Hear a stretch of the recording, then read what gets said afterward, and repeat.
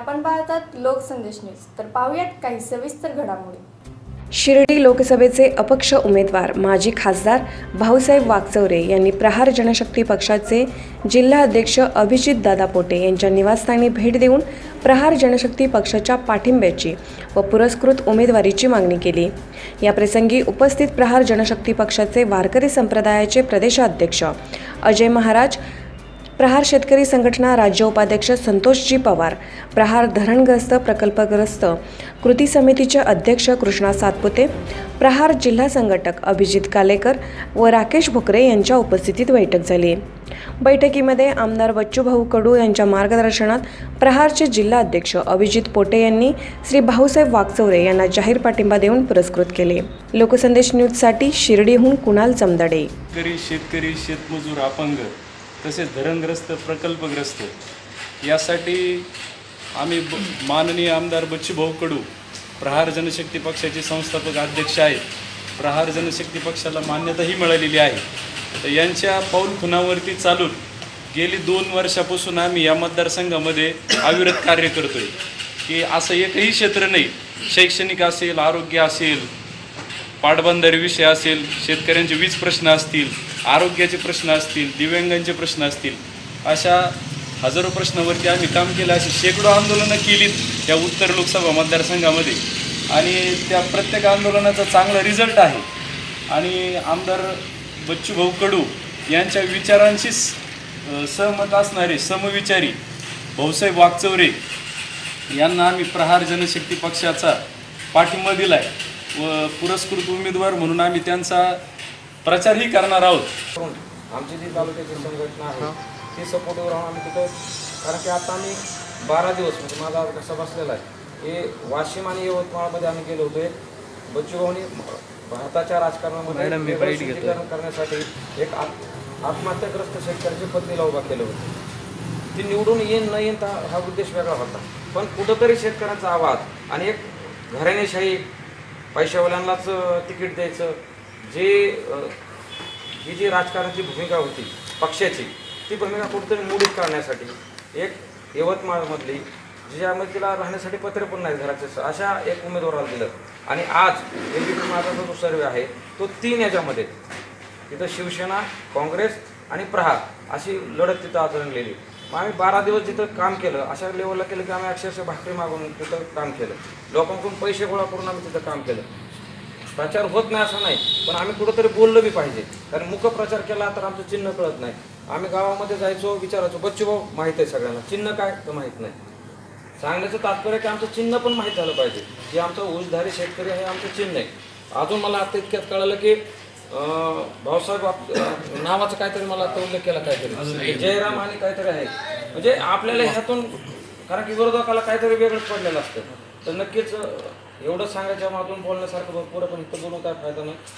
नक्की आम्ही रणांगणात उतरून हे बोललं पाहिजे. आपली भूमिका प्रत्येक ठिकाणी हे केली पाहिजे. दुसरी गोष्ट प्रहारची भूमिका ही एकदम ठोक असते. रोखोक असते. आम्ही काय कोणाला भिणारे नाहीत. त्यामुळं तुम्हाला तो एक पाठिंबा राहील ते कुठेही आम्ही निडरपणे काम करू आणि तुमची भूमिका मांडण्याचा शंभर टक्के प्रयत्न करू. आणि आम्ही हे ग्वाही ग्वाही देतो की आज आम्ही जर बघितलं प्रतिस्पर्धी जे आहेत सदाशिव लोखंडे आणि नंतर तुमचे भाऊसाहेब कांबळे तर त्यांच्या जर आत्तापर्यंत जर आपण कार्यकाल पाहिला आमदारकीचा असो किंवा त्यांचा खासदारकीचा असो त्या मानाने आपली बाजू जी आहे ती वरचढ आहे. आपलं वजन जे आहे ते पारड्याचं टाकल्याचं जड आहे. पण हे जड आम्हाला माहीत आहे. हे जनतेला माहीत झालं पाहिजे. यासाठी आपण सगळ्यांना त्याला कुठंतरी चांगलं स्वरूप दिलं पाहिजे. म्हणून आम्ही आमचा जो अनुभव आहे तो शेअर करण्याचा प्रयत्न करू. तुमचा आहे. कारण तसं बघायला गेलं तर म्हणजे हजार तास म्हणायचं नाही की त्यांनी दोन वेळेस खासदार केलेले आता तिसऱ्या वेळेस चालू आहे, एक आमदार लढली त्यांचा पण अनुभव कसाला लावून आपण सगळ्यांनी जर प्रामाणिकपणे निष्ठेने काम केलं तर नक्कीच त्याला यश येईल. माजी खासदार भाऊसाहेब वागचौरे यांना तंतोतंत लागू पडतं. आमदार बच्चूभाऊ कडू यांच्या विचारावर चालणारी आमची प्रहार संघटना. या संघटनेच्या माध्यमातून अनेक कामं झाली. त्यामध्ये प प्राधान्याने धरणग्रस्त असो तुमचा निळवंडेचा प्रकल्प असो किंवा पांढरीच्या पुलाचा प्रकल्प असो काम करताना हाती घेतलेलं काम आम्ही पूर्ण केलं. आश्वासनं जनतेला दिले नाही. एक चांगला माणूस आम्हाला एक निवडायचा होता. त्या माध्यमातून आम्ही वाशिम यवतमाळ मतदारसंघात एक आत्महत्याग्रस्त आमची भगिनी वैशालीताई येडे यांना निवडलं. त्याच्यानंतर निष्कलंक म्हणून आम्ही माननीय भाऊसाहेब वागचौरे यांना प्रहारचा तन मन धनाने संपूर्ण प्रहार सैनिक पाठिंबा देत आहेत. तरी माझं एक जनतेला असं आव्हान आहे योगायोगाने खुनाशी आली का ऊसधारी शेतकरी? मित्रांनो आपला भाग पूर्ण ऊसावरती अवलंबून आहे. आपल्याला जी ऊसातून जी पिळवणूक झालेली आहे आत्तापर्यंतची ती पिळवणूक माननीय भाऊसाहेबजी वागचौरे यांच्या माध्यमातून संसदेमध्ये आपण हे प्रश्न शेतकऱ्यांचे मांडून आपली जी होणारी शेतकऱ्यांची खतखदे आहे ती बाहेर आपण संसदेत काढू. आणि जसा दोनशे अठ्ठ्याऐंशी आमदाराला एकच आमदार आज महाराष्ट्र विधानसभेत भारी भरला ते म्हणजे माननीय बच्चूभाऊ कडू. त्याच पद्धतीने पूर्ण संसद भवनामध्ये भाऊसाहेबजी वागचौरे यांचा आवाज राहील आणि शेतकऱ्यांसाठी मोठं योगदान राहील. आणि अशी सांगोपांग चर्चा झाल्यानंतर आमदार बच्चूकडूनचा विश्वास त्या ठिकाणी पटला की शेतकऱ्यांच्या प्रश्नावर न्याय देण्याची भूमिका मांडण्यासंबंधाने जर कोणी काम करीत असतील त्यात वागचौरे साहेब हे चांगल्या पद्धतीने काम करतील. त्यांच्यावर कुठल्याही पक्षाचा शिक्का नाही कुठल्याही पक्षाचं लेवल नाही. आणि प्रहार संघटनेची जी भूमिका आहे कुठल्याही राजकीय प्रस्थापित पक्षाला किंवा त्या पक्षाच्या माणसाला पाठिंबा देण्याची भूमिका नाहीच.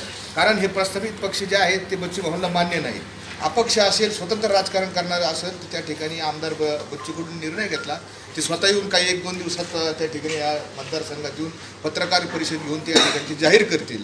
परंतु आज या ठिकाणी असा निर्णय झालेला आहे की वाकचौरे साहेबांना त्या ठिकाणी लोकसभेमध्ये दिल्लीमध्ये पाठवायचं आहे आणि त्याच्यासाठी प्रहार संघटनेचे आमचे इकडचे जिल्हाध्यक्ष उत्तरेचे अभिजित पोटे असतील आमचे प्रहार शेतकरी संघटनेचे संतोजी पवार असतील कृष्णा सातपुते असतील सगळी सहकारी आमचं मंडळ असेल सांध्याचे आमचे भोसले असतील ही सगळी मंडळी ताकदीनं त्या ठिकाणी वागचौरे साहेबांच्या पाठीमागे उभा राहून आमच्या सहित सगळी आणि संबंध महाराष्ट्रातूनही नाशिकमधून काही येऊन त्या ठिकाणी प्रचार करणार आणि शेतकऱ्याचा एक चांगला प्रतिनिधी पक्षविरहित असलेला प्रतिनिधी लोकसभेत पाठवण्यासाठी त्या ठिकाणी निर्णय झाला आहे. प्रत्येक उमेदवाराचा बायोडाटा बघून त्याला मतदान केलं पाहिजे ही सुज्ञ जनतेनं सम समजून घेतलं पाहिजे साहेबांचं शिक्षण आणि इतर प्रतिनिधींचं शिक्षण या दोन्ही गोष्टी डोक्यात घेतल्या पाहिजे जर एखाद्याला शिपाईची ड्युटी करायची असली नोकरी लागायची असली तर त्याचं ग्रॅज्युएशन बघितलं जातं पोस्ट ग्रॅज्युएशन बघितलं जातं आणि ज्याला ग्रामपंचायतमध्ये पाऊल ठेवायचे माहीत नाही असे दुसरी आणि सातवी शिकलेले लोक आज आपण कित्येक सा कित्येक मतदारांना विचारलं की तुमचे मागचे खासदार कोण होते ते आम्हाला म्हणते माहीत नाही.